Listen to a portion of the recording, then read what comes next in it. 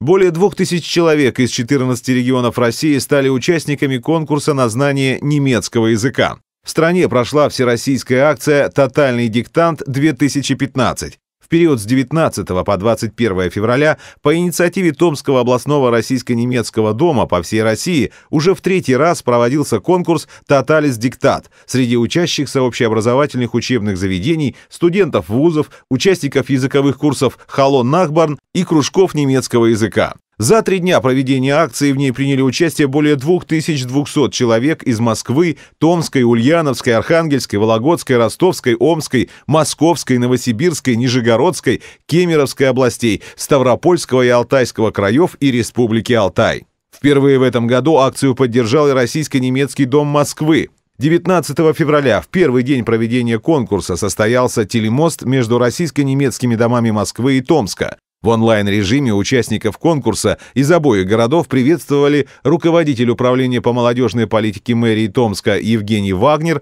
главный редактор московской немецкой газеты Боян Крстулович и первый заместитель председателя МСНК Ольга Мартенс.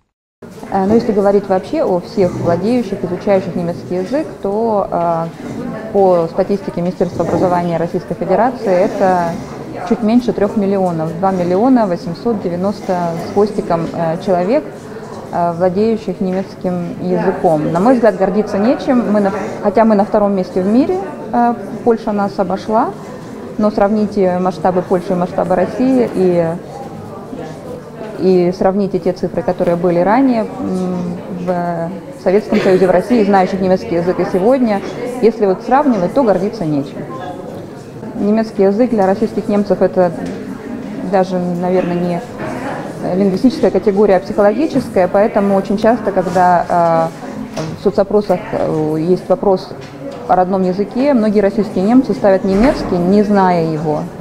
То есть они его исторически воспринимают как родной, родной язык. Но если говорить о тех этносоциологических исследованиях, которые у нас проводились, мы можем э, примерно говорить о Э, количестве российских немцев, знающих немецкий язык, э, оно лежит между 20 и 30, 30 процентами от того э, полумиллиона, который мы имеем в Российской Федерации. Мы всегда воспринимали сообщество российских немцев как некую категорию, объединенную историческим прошлым, но сегодня, когда мы говорим о том, что историческое прошлое все дальше и дальше, именно та категория, которая объединяла, это общая трагедия, это общие репрессии, то есть это отдаляется, и со временем э, на передний план должна выходить другая категория, объединяющая народ. Историческое прошлое должно оставаться, но при этом идентифицировать себя в качестве российского немца можно, э, на мой взгляд, в ближайшее время только зная немецкий язык. Ich als Deutscher weiß, wie schwer es ist, in der Fremdsprache zu schreiben. Я как немец понимаю, насколько сложно писать на иностранном языке, хотя русский тоже нелегок. Я вижу, что здесь нет компьютеров, только листы бумаги и ручки. Когда я не знаю чего-то по-немецки, то я спрашиваю Google. Достаточно часто, между прочим. Несколько вещей я вообще не понимаю. Писать ли с большой или маленькой буквы, слитно либо раздельно. Я не знаю, а Google знает. А вы должны справиться только с этими листами бумаги и ручками. Успеха вам!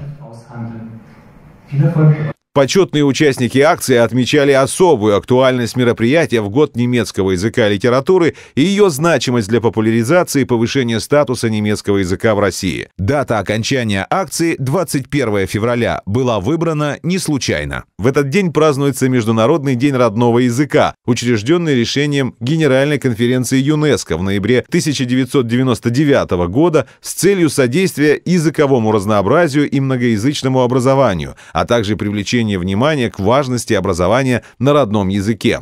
В Москве и Московской области участие в акции приняли 347 человек. Среди участников акции люди разных возрастов. Среди всех наилучшие результаты показали школьники. Ну, на русском диктант писать легче, потому что ты знаешь, по крайней мере, перевод всех слов. Ты знаешь, что они значат. А на немецком еще есть свои правила написания. И ты не знаешь все слова, и пишешь даже иногда слова наугад. Сложно ли было? Ну, достаточно. Я пишу первый раз, и для меня это было как новое испытание. Oben drei Fenster.